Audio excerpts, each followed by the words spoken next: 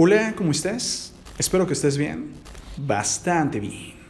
Hace unas horas, un cohete Starship, que es un prototipo de SpaceX, la compañía de Elon Musk, ha explotado en unas pruebas en los motores realizadas en el sur de Texas.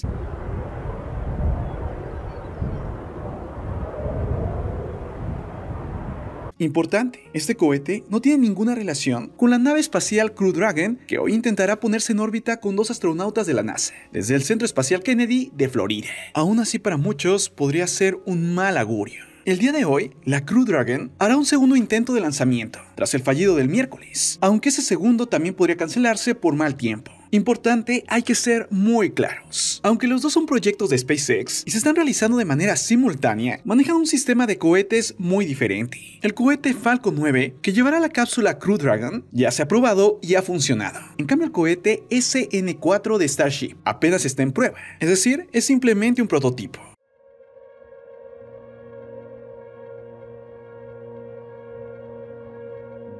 Ahora bien, las imágenes del cohete SN4 cuando estalla son increíbles, ya que simplemente se destruye tras una gran bola de fuego. Las imágenes grabadas por la web de la NASA muestran la tremenda explosión.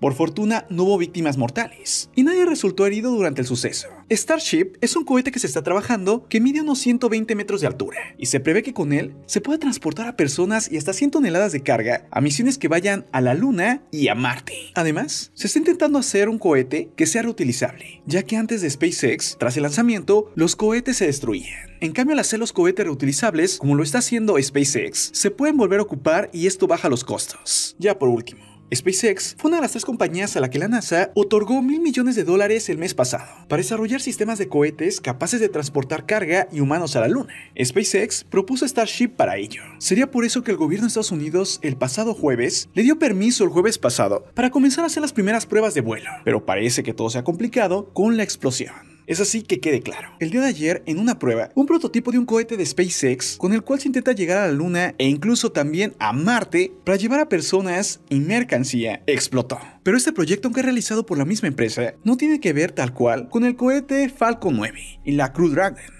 la cual se calcula que tal vez el día de hoy o en los próximos días sea enviada al espacio, ya que llevará dos astronautas a la Estación Espacial Internacional. Y aunque esto podría parecer un mal comienzo, se espera que la Crew Dragon pueda cumplir la misión sin ningún inconveniente. De esta manera, si te das cuenta, ya empezó el camino hacia la Luna y a Marte. Y aunque se ve bastante complicado, el primer paso ya se está dando. Y tal vez en un futuro cercano, este paso tal vez fue el que al final nos llevó a llegar a Marte. Antes de irme, te invito a que conozcas mi canal de misterio y horror, llamado Archivos Miedo. Pero ten cuidado, es muy perturbador. Archivos Miedo. Yo soy Marco Antonio C. y esto, esto es tu Cosmópolis. Nos vemos pronto. Un abrazo fuerte. Bye.